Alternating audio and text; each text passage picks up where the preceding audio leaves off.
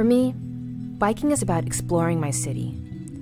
It's about finding something I've never seen before, and it's about feeling the sun on my back. And helmets make me feel the opposite of that.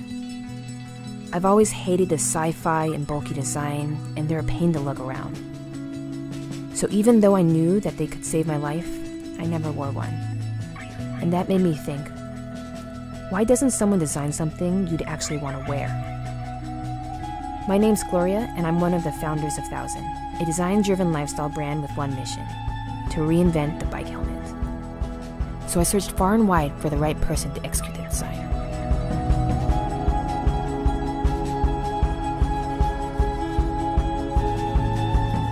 So something like this, uh, the styling is being stripped out of it, and that in itself becomes a style.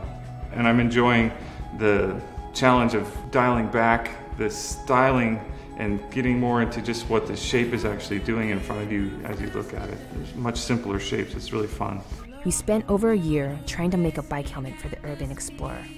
And we looked for inspiration in everything from vintage motorcycle helmets to Jack Kerouac.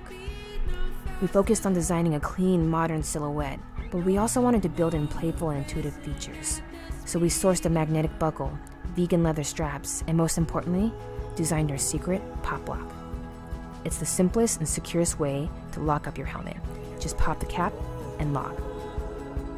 And at the same time, we made sure we were picking and sourcing the most sustainable and eco friendly materials we could. Because for us, Thousand has always been more than just creating a beautiful product. It's about utilizing thoughtful design to do good. Thousand, thoughtfully designed.